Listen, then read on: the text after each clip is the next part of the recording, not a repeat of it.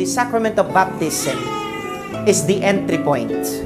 You cannot get married without baptism. So this is the first sacrament. And we know that sacrament is an outward sign instituted by Christ to give grace.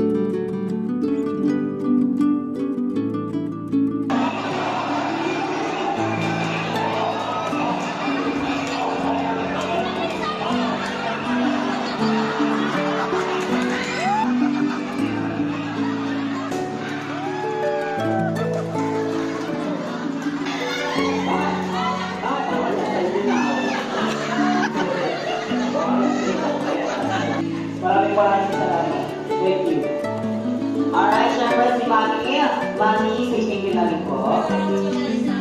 Thank you sa lahat.